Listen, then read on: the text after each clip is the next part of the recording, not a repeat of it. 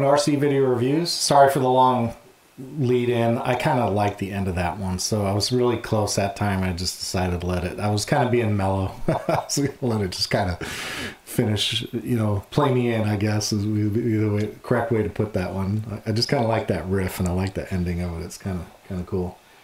So, uh, how you doing? How's everybody doing? Hopefully, you all having a, a fantastic. What is it? Wednesday? Wednesday night? Yeah, Wednesday night hopefully everyone's having a good Wednesday night. In some cases, Thursday morning, right? I know in Sweden, Sydney, Sweden, 4:30 tomorrow morning. In Sydney, it's what 11 uh, was 11:30 tomorrow, right? so I actually thought this was a old model of quad. You know, it might be. I'm not sure how long this thing has been out. I can tell you that a friend of mine, uh, Jay, he he strongly recommended, advocated for this one. He said, "Man, you got to get one of those." And when I told him about the little deal I found on this one, he said, "Oh, I'm seriously thinking about that." And of course, this sold out pretty fast after that deal. So let's set the record straight on this. This is a, a, Hawk Sport. There's a higher end. They have a Hawk Pro that's got maybe upgraded motors, and I'm not sure, maybe a better flight controller. And the new, the Hawk, uh, the Hawk Pro has the uh, little pulsating power rings under the motors, which you know, whatever, that's fine. I'm not I'm not much of a racer, so this I'm sure this will be plenty uh, for me to handle. But uh, what happened was Get FPV was doing like this summer sale, and Get FPV is a pretty well respected uh, RC shop in the U.S. and uh, they were running a sale of 30% off. So this thing only goes for about 190 bucks and at 30% off it was they were shipping it out the door delivered for like 150 or something. So that seemed like a great deal. And that's why i finally jumped on it because my buddy jay said i needed to have one. And with that price you know i'd been watching this one for a little while and when i saw that price i just couldn't refuse. I mean i just paid for that little tiny hawk 2 i think i just paid like 134 and this is a full-on you know out, outdoor big boy quad right? So anyway uh, I did get this is a 4S version too, but and I put a link in the description. Uh, you can fly this with a 6S battery with Betaflight because Betaflight has motor scaling and it works. So there's a link in the description if you want to learn how to do that. I did a video on that already.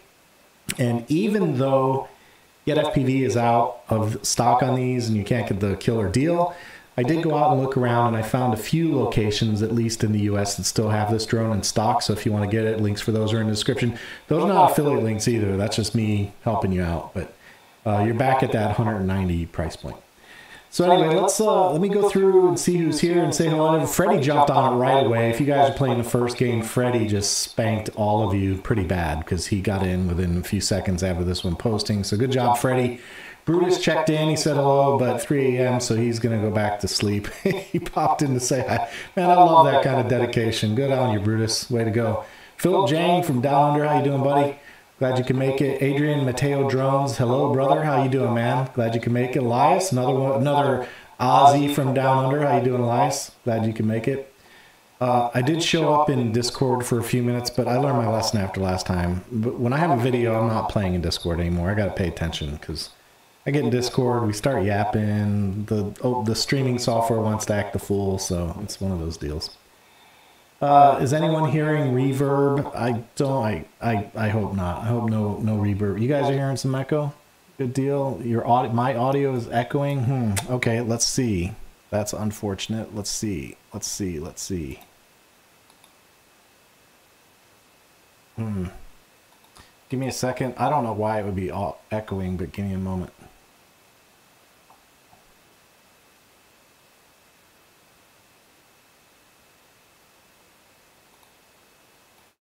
There. Tell me if that's better. Is that better? Let's see if that's better. My audio, locked lots of echo. Well, that sucks. Uh, so apparently it's on my end. Man, I don't know. This software is just beating me like a redheaded stepchild lately. Seems like your audio is quick echo and then almost like a reverb. I think that should fix it. You guys let me know. Technical difficulties. How's it going? It's going well. It's going well. Props off. How you doing, man? Dodge Dolze. Dolze. Yes. Yeah. JT. Yeah. Greetings from the Netherlands. Stray Dogs. How you doing?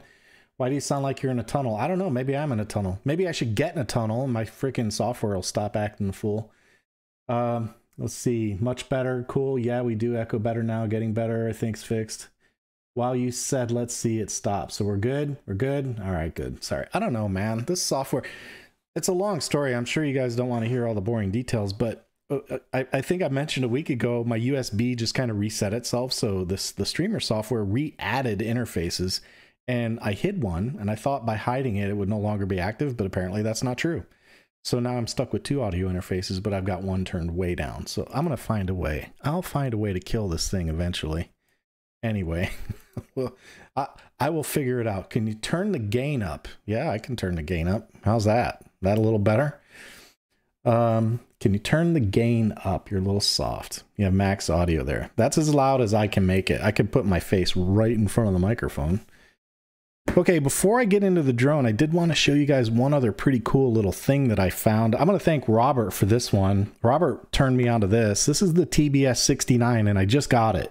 I got it out of the package and took a look at it. So if you're not familiar with what this is, it is a combined Unify Pro and a TBS Crossfire in one unit, which I think is kind of cool. You know, the Crossfire by itself is really small anyway, but this is also a VTX. So they send you a couple of different mounting options with a uh, with a uh, Immortal T and a SMA pigtail adapter for your VTX, your video uh, antenna. So I just got that today. I'm going to need to play with it a little bit. I want to see how it binds. I want to see what the options are with the Lua script.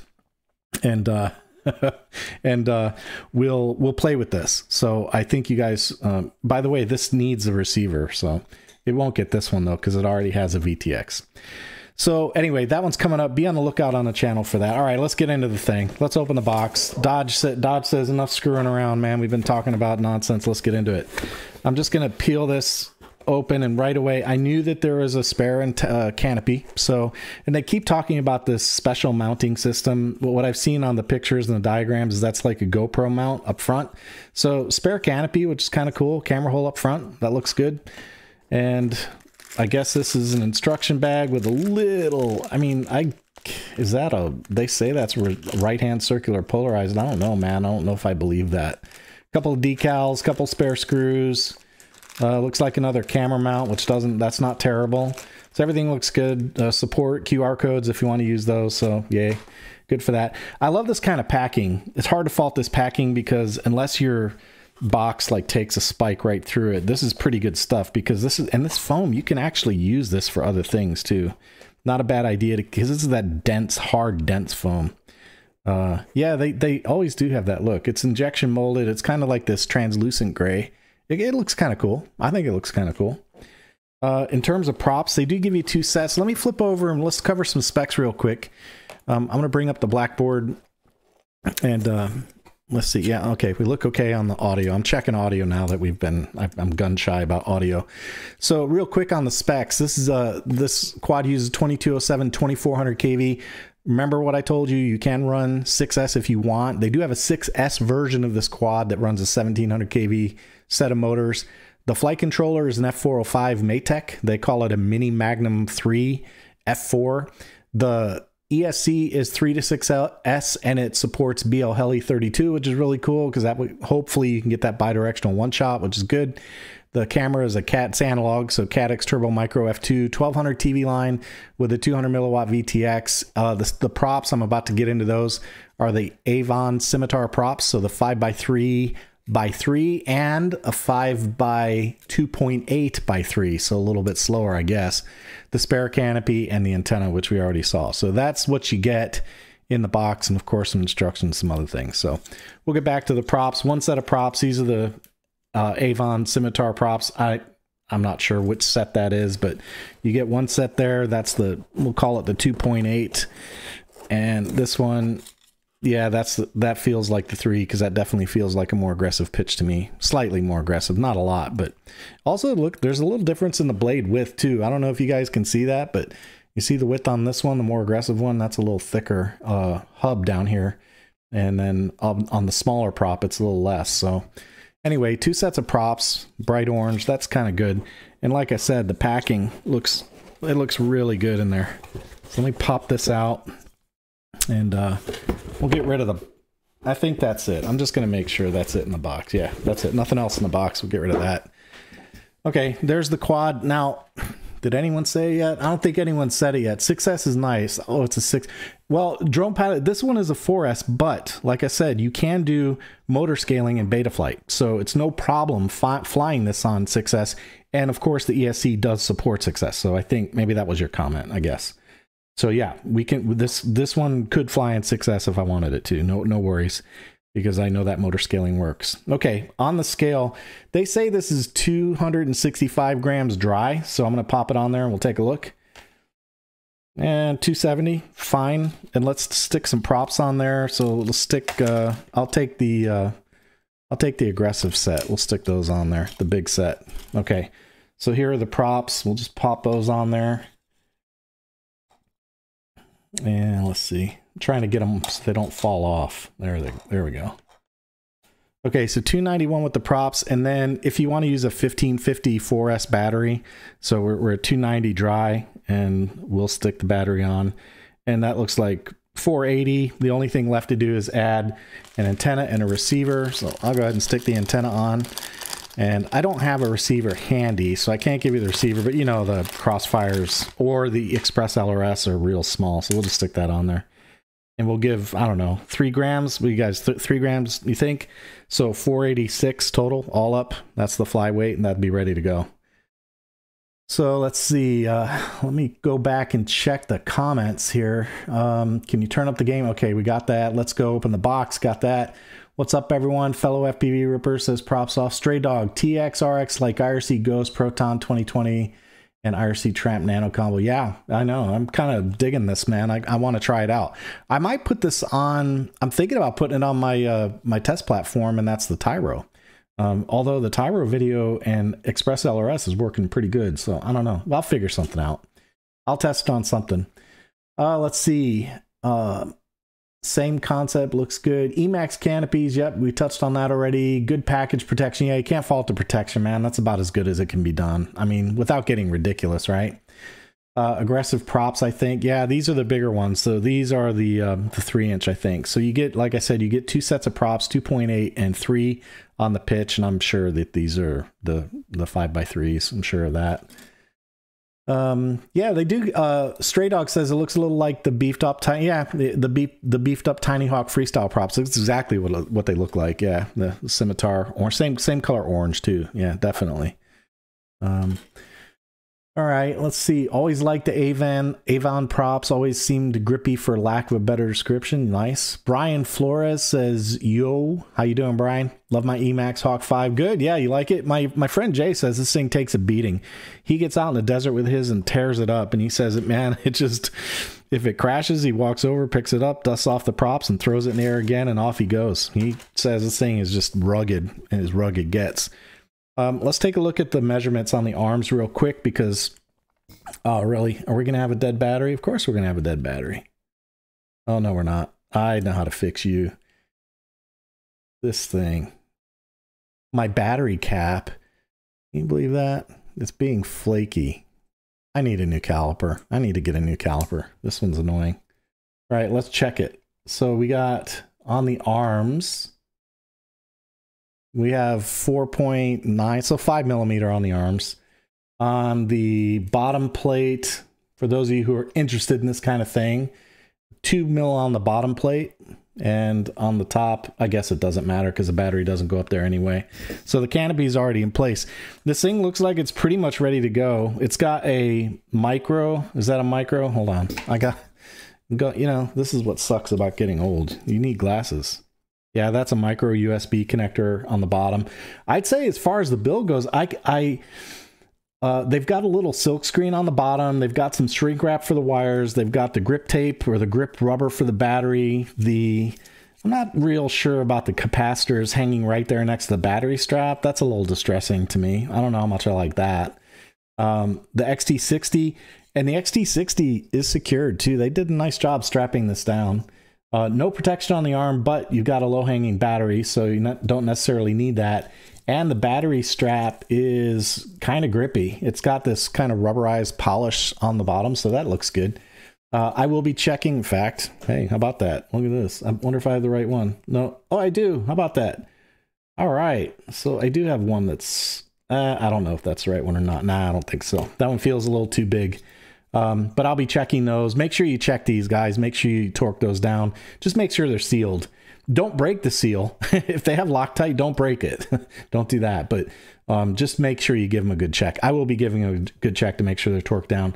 I don't see any on the bottom. I don't see any screw heads or anything. It's all flush mount, so nothing looks like it's going to be in contact with the battery. So bottom line, the battery mounting area looks nice and clean. That's the bottom line. Uh, as far as arm change outs go, the uh, rubber mount goes around the two screws that it looks like. I'm not sure if that screw has to come out or not. That one definitely has to come out. Um, but it doesn't look like it's going to be too much of a problem to change the arm if it comes down to that. Take the motor off, and and even the motor wires on the ESC look like they're easily accessible. So everything looks really good there. Hex heads holding on the canopy, a couple of nuts holding on the canopy on the back. The uh, video SMA adapter is on there nice and snug. So I'd say, I mean, overall, that's clean. It's very clean. Uh, you know, I'm looking for things that might get hung up when you're using it or if you crash and nothing, man. It's all very tucked away in there. It's a very tidy build as far as I can see. It looks really good. The, uh, of course, the camera angle, that's the Caddx uh, Turbo Micro F2 1200 TV line. They got that sucker aimed up, man. that thing, you you can tell that is horizontal. I, let me, that's horizontal. So this thing, this thing is uh, intended to go. It's intended to cruise. No, no question about it. That is def. They definitely have that aimed up. And of course, there's a little camera cover on the top there. So I don't know. As far as first look goes, man, it's lightweight. This thing is all business. Like it's like nothing there that's not supposed to be. Um, I do like the flight stack arrangement too. It looks very clean. The USB is easily accessible. It's easy to get to that one right here. Nothing's in the way. Um, the the VTX is up top. I'll be curious. I will check the book and make sure this one's not locked. Uh, this one only goes up to 200 milliwatts too, just so you know, in case you're into that kind of thing. But this really isn't designed to be a range flyer. You know, this is meant to be you know cruising around local. So there you go. There's the first look. Um, this thing, I don't know how I feel about that. I guess it's, you know, if it's meant to be local and if it's polarized, um, I guess it'll be fine. We'll see. I'll test it. I'll test it out of the box, and if it works out, I'll let you know. If it doesn't work out, I'll let you know that too. So let's see. Uh, Drone Pilot says, nice lightweight. Um, should, uh, I lost it. Where'd it go? I lost. I scroll. I hit the little scroll button. There we go. I got it. Nice weight. Should really rip around on 2207. I have a seven inch quad with 2207. Yeah. Oh wow. Wow. Yeah. This should. Yeah. I'd expect this will be a lot of fun. Um, one thing I, I, do get a kick out of punching the quads and leaning them over and getting them going. It's it's fun listening to how they sound. So I, you know, I'm kind of having fun with that aspect of it when I get a chance to fly. That is. Uh, Brian says he converted it from analog to DJI Caddx. Oh, that'd be cool. Flies up, files up on Thingiverse. Cool, man. Thanks for letting me know. Um, that's another one that I've been kind of looking for is the Caddx systems with the Nano um, Pro. Those are hard to find right now, man. Hard to find the Nano Pro. When I say hard, I mean I basically mean impossible. I can't find the Nano Pro, and I I really don't want to. Uh, sorry, a, a Nebula Pro, not a Nano Pro. It's I don't want a Nebula Nano or a Nano V2. I really, if I could do Caddx, which I like, I'd like to have the the Pro. Um, let's see, Game of Drones. Will this support Crossfire or or AM Plus? I don't know what AM Plus is. The old one doesn't. And RHCP is red and LHCP is white usually. Yeah, um, I'm sure. I'm sure it'll support Crossfire. I'll have to find a place to mount it, but yeah, I'm sure it'll support Crossfire. Um, can't be too hard to find. It, well, you have to. You got to find somewhere to stick the receiver, right? Got to go in there somewhere. So I'll figure it out. Uh, kind of baffles me how five inch quad shrunk pretty significantly. Had my racer side by side with another five inch freestyle build a few years ago. Old five incher almost looks like seven inch. Yeah, isn't that something? Yeah, five inch. It's real. They're tiny. I agree. This is kind of small for a five inch quad. Like I've got like other quads that are five inches that look a lot bigger than this, but you know, I guess if you're going to race, I mean, if you were, if we were to go ahead and put the props on here, let's take a look at that. Let's take a look. I bet they're close. so, like, you know, on a lot of the other uh, freestyle and long range and cinematic quads and stuff like that, I don't care if the props are not in order. It doesn't matter. I'm just testing. But yeah, that, there's your clearance, man. That's why they're real close. And as far as the body goes, that's pretty close too, man. There's like no, yeah, there's no space. That's why So on the more cinematic types, you know, they they try and make room for those to um, get the camera cl- a clear shot and not have props in view. So I think that's one of the reasons they separate those out a little bit more. But they say five inch. This thing is just five inch. So there you go. There's a look at it with the props on to give you an idea in terms of clearance of what you're looking at. So the back blades, again, I, am sure the props are messed up. And here, my OCD doesn't like it. So, um, did I have that wrong? That looks like that. Yes. And that one looks wrong. What did I have wrong here? I don't know. Did I mix them up? No, I didn't mix them up. That, oh, that's the one I got wrong. There it is. I, I found it. I found it. There we go. My OCD can't take it, man. but there you go. There's the props. So yeah, very small clearance in the space here. Nothing, virtually nothing up front. Very small space in the back, and then tip to tip. Yeah, that's that's why. That's that's why. That's why the older ones look like they're so much bigger. You probably have a little more clearance. Sorry about that, guys. My OCD got the better of me. All right, uh, let's see. Uh, love my Emax. Okay, nice flight. Uh, let's see. I'm trying to catch up to comments here. Kind of baffles me. All right, we got that. Dr- David Knutz. David says hit the like button. You guys listen to David, man. He knows what he's talking about. Thanks, David. Appreciate you, buddy. Thanks for being a like whip tonight. And then uh, damn auto incorrect law XM plus. Oh, XM plus. Yeah, yeah. Um, I'm sure. Yeah, I'm sure it's it, it would work with an XM plus or or Crossfire. No no problems there. All right, let's see. Um, I think Emax is the only way to get a Nebula Pro these days. Yeah, I found I found Nebula Pros at um I hate giving away my sources because when I do and they get them in stock, you guys buy them on me. Uh, but it's it was uh, Defiant RC. That's where I got it. The last one I got was Defiant RC. They had a Nebula Pro in stock. Um, I only got one, but they haven't had them in stock since then. So drone pilot says five millimeter arms, two mil bottom plate is chunky. That's going to be sweet in the, in tune. Yeah. Hey, that reminds me. Drone pilot and I have been fiddling with motors and looking at motor noise, and uh, I will test this, so you guys can count on that. I'll give that feedback before I fly it or you know during the flight video. But one thing that I have found on my on my Chimera, which I have Maiden by the way, is that the Emax motors are super quiet. So I will test them. And these are not the Eco 2s though. These are, these are the first, look like first gen Ecos. So they just say Eco, not Eco 2. And you can tell by the motor can they're a little bit older styling, but I'm sure they'll be fine. I'm sure most of the most of the materials probably made the same. So I'm sure they'll be fine. Uh, Stray Dogs is kind of weird spot for the caps. Yeah. Yeah. For the caps. Yeah, I guess. I'm not sure. Uh, caps. Weird spot for the caps. What caps are you talking about? I'm not sure. Are we talking about the, you know, I don't know. I don't know what caps you're talking about, man. Help me out. Uh, so basically, it's almost identical to the old one. I reckon. I reckon the, this. I don't think this is a like a, a V2. So I I think that from what I've seen, all of these Emax Hawk racers all pretty much look the same. The the major changes come in the electronics and the motors. So um I didn't like the oh the capacitors. I got you the capacitors. Yes, I know. Yeah, I know. That's that is.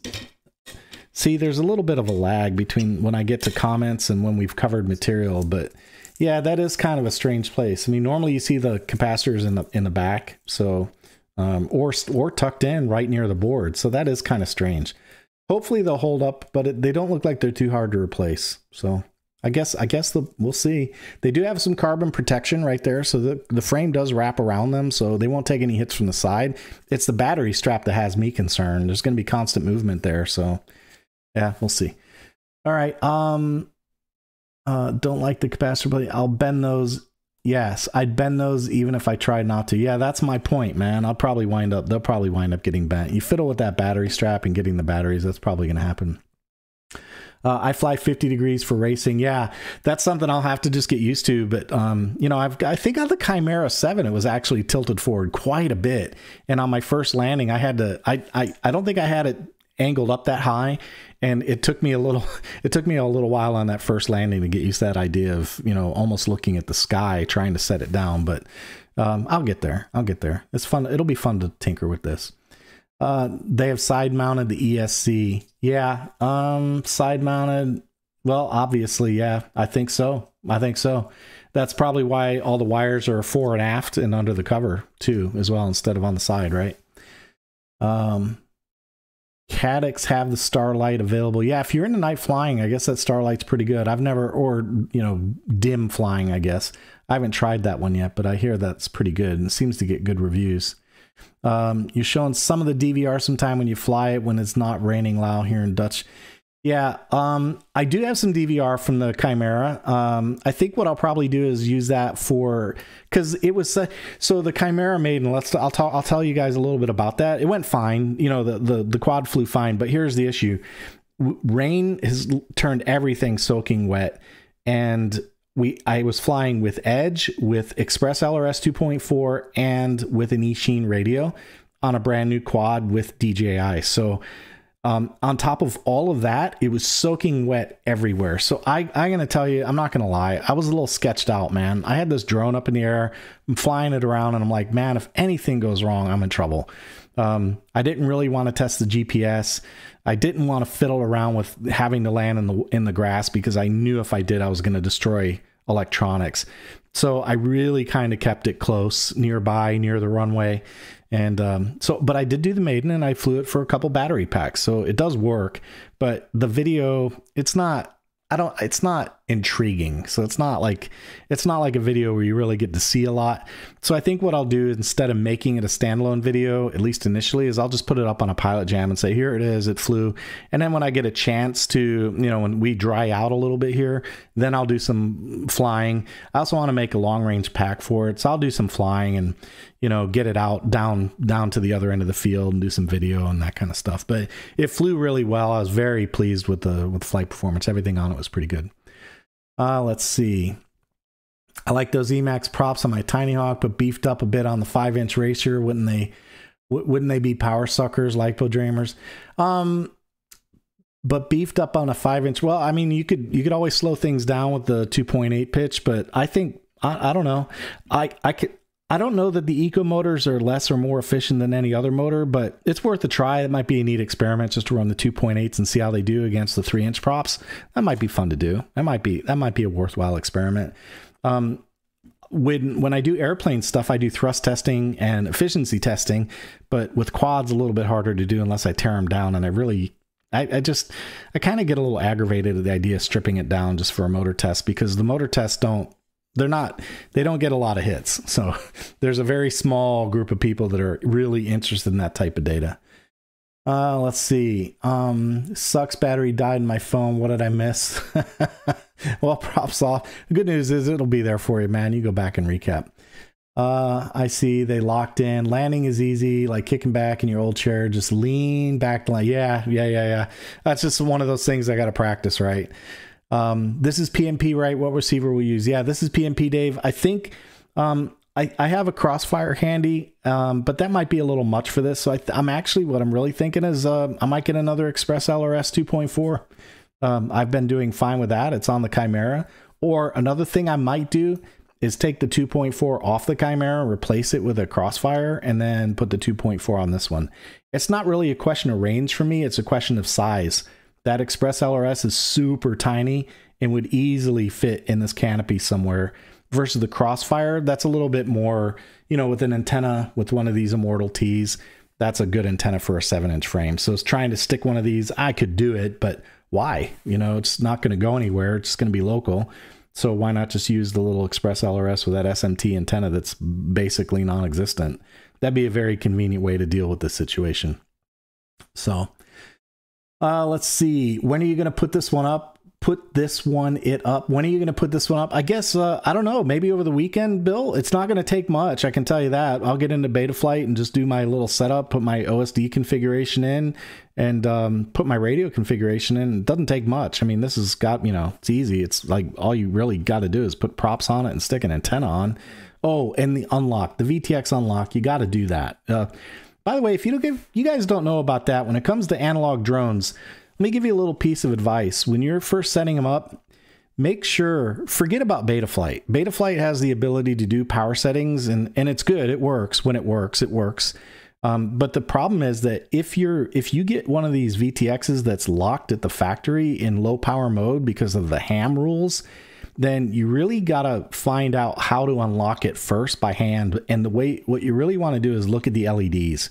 So when you unlock it, look at what the LEDs do and make sure the LEDs are showing you power changes when you change the power. If you do that and then you go back to Betaflight and set your power levels up in Betaflight so you can change power and you watch the LEDs, um, if you if you move your switch on the radio and those LEDs move cor- corresponding to that switch, then you know for sure that you're changing power levels. Um, another option is, especially for a 200 milliwatt uh, VTX, and if you're not racing with other people, just lock it at 200 and don't worry about it. But the the lesson in all of it is you can go into Betaflight and add the VTX power level change configurations, and then you'll see on the OSD, it'll tell you, oh, yeah, we're running at 25 or 100 or 200. But if those LEDs don't change, you're not. So Betaflight will lie to you. So just make sure that you understand how to change power levels and what your LEDs should look like. And when you are confident in that scheme, then go ahead and use your switch configurations in Betaflight and make sure your LEDs match what your switch is sending. Okay, just a little, that's a little lesson learned on my part. You got to make sure you do that. Um, Stray Dog FPV says, I got one final question before I got to go for a stroll with the dog. Is Edge TX already reliable enough to go with? Oh yeah, yeah. I'm in fact, um, I the reason that I ran Edge TX with my Chimera build was to show and and give a proof of concept that um, I was willing to go with it. So I put I put Edge TX on a new radio with a new receiver, a new transmitter, and a new firmware, and and I launched it on a seven inch quad with the DJI Air unit in it. And it was a full DJI Air unit too. It wasn't it wasn't a cheapie. It wasn't an, it wasn't a Caddx Nebula Nano. It was the real deal. So um, my my answer and what I'll say about Edge TX is that uh, you watch the developer space on that on that firmware and the bugs we're not i'm not seeing people come in i'm not seeing people come in and say that edge tx crashed anything there there are bug reports you know sure and i want to be clear about something else too i'm not one of the developers i'm not i'm simply an observer and a tester i do some testing and I give them my feedback and I keep a very close eye and I ask them questions. You know, I do ask them questions about what's going on, but I am not on the development team. So um, there is separation, right? I have no vested interest in Edge TX. It's not my project, right? I'm simply an observer and I'm reporting back what I learn and what I find. So I just want to make that clear. But um, yeah, I would say Edge TX um, is good to go. Now, what I would suggest you do though is I would suggest you don't go in all the way in on the deep end because there are some things that are missing and and they're working on all of it and um, you know so i would suggest that you just you know pick a, a, a, plane or a quad or two and and run with it for a little while. Take take something that you're familiar with that you can fly well and go out and test it and you know judge for yourself. But what i can say after my my own use in in operations and production is that i have no fear about the stability of the kernel right? The the operating system itself and I don't have any fear about the radio link technology that that is in Edge TX, which is really OpenTX. It's not like they rewrote the whole thing. Um, so I've been using it, but I would encourage you guys, you know, test, you know, test and don't don't jump off the deep end, but get it, install it, try it out on a few things and and and work on it and see how see how you like it.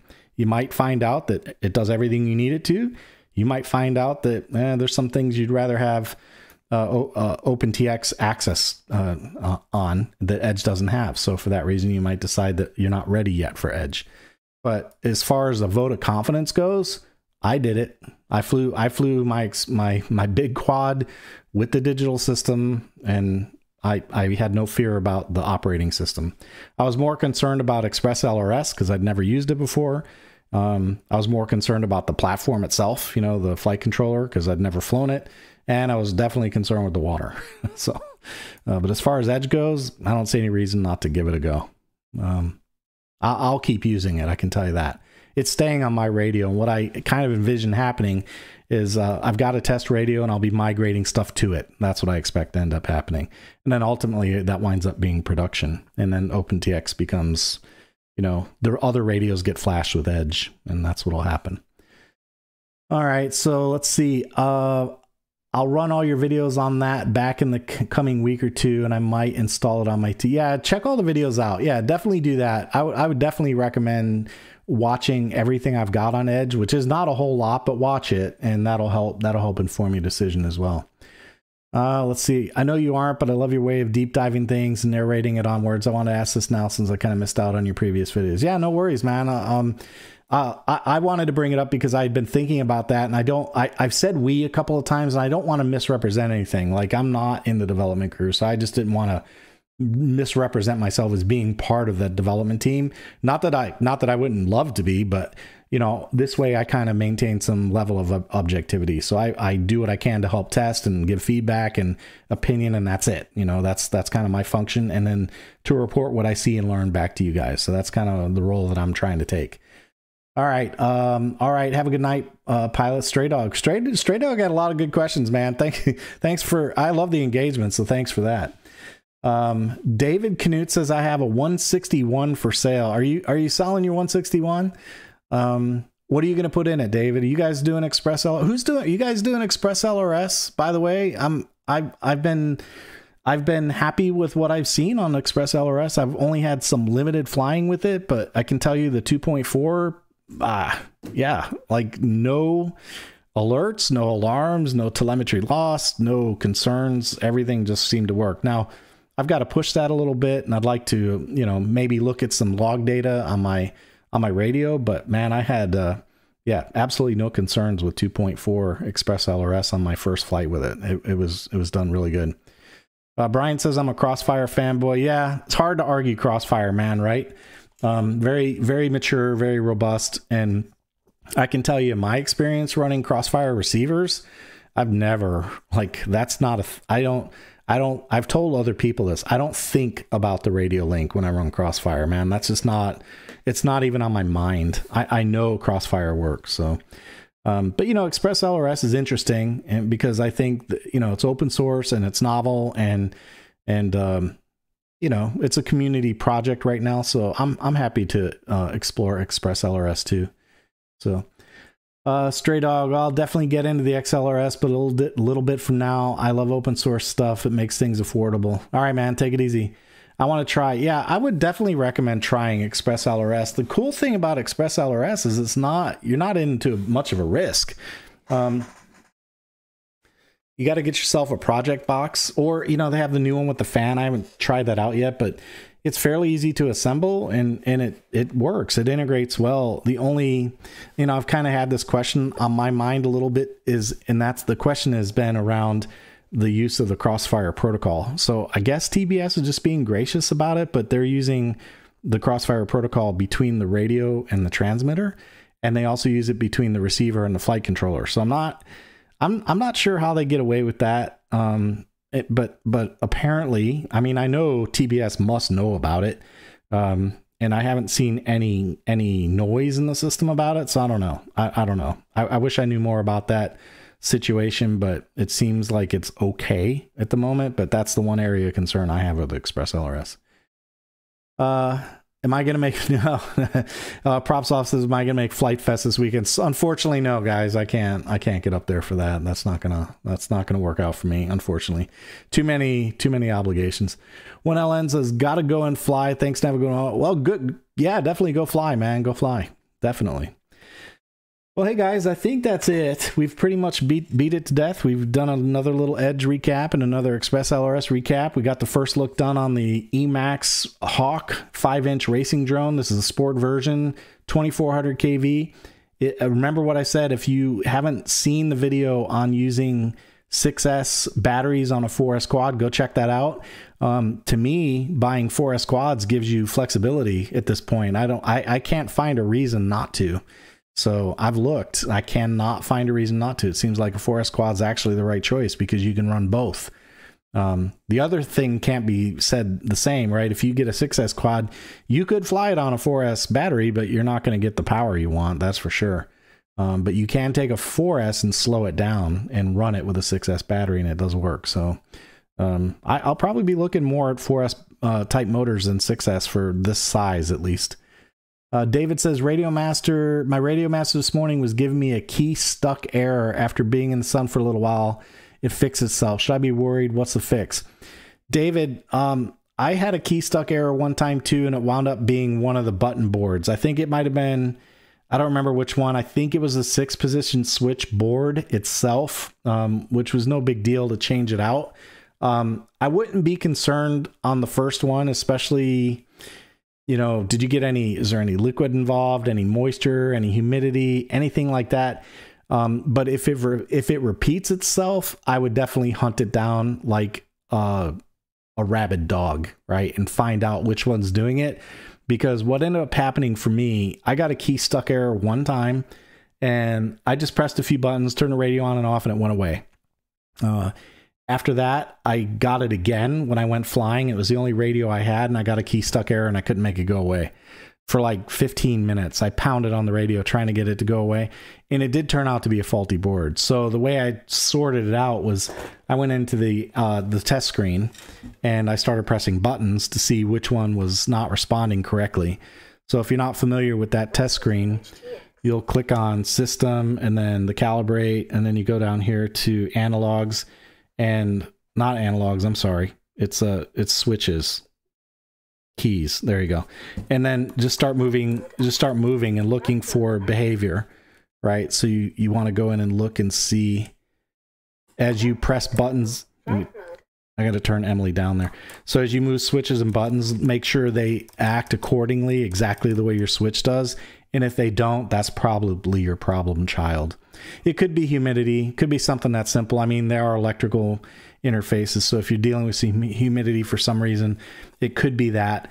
But like I said, um, first one's on you, uh, second one's on the radio. Okay. So if you get it again, hunt it down because it will leave you stranded right when you least want it to. So definitely, I would I would hunt it down after that.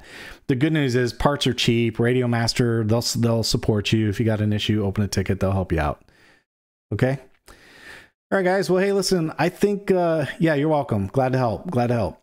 Um, so I think that's it. We're at the, we're at the bottom of the video, bottom of the content. I appreciate you guys joining me on Wednesday night for a quick look at the Emax drone. I'll get some video on it as soon as I can. Uh, who knows what the weather? it's still still rainy. Believe it or not, it's still rainy. We're just in the season. It's the way it goes. So thanks for joining me. I'll get some footage up on the sky as soon as I can, and uh, that's all I've got for tonight. Take it easy.